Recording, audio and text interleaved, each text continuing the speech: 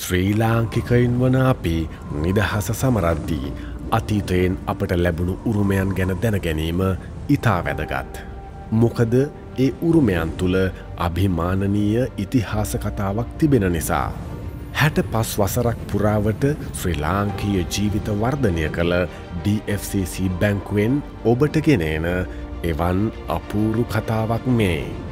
සබරගමු පලාතෙ රත්නපුර දිස්ත්‍රික්කයේ ඇම්බිලිපිටිය නගරයේ කොළොන්න ප්‍රදේශයේ පිහිටි මඩුවන්වෙල වලව්ව අනාගතයටත් වටින ඓතිහාසික උරුමයක්.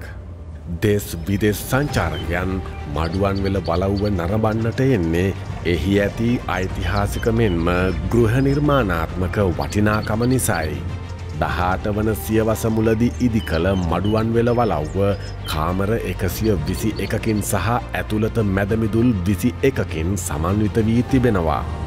මුළු වලව්වම අඩි තුනක් උස කළුගල් වේදිකාවක තනාතිබීම වතුරමල් සහිත ජලතටාක පුංචි බංගලා නමින් හැඳින් වූ රැස්වීම් ශාලා එවකට තිබූ අග්‍රගන්නයේ ගෘහනිර්මාණ ශිල්පයට දිය හැකි හොඳ උදාහරණයක්.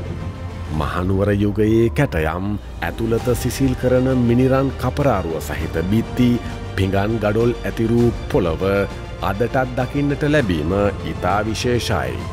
එදා ඉංග්‍රීසි ජාතිකයින්ව සමච්චලයට ලක්කරමින් ඔවුන් වලව්වට ඇතුළු වෙද්දී හිස නැමීමට සිදුවන ලෙසින් උසින් අඩු ගල් උළුවස්සක් නිර්මාණය කර තිබීම මඩුවන්වෙල දිසාවේගේ අදීන බව සූක්ෂම ලෙසින් පෙන්වීමක්.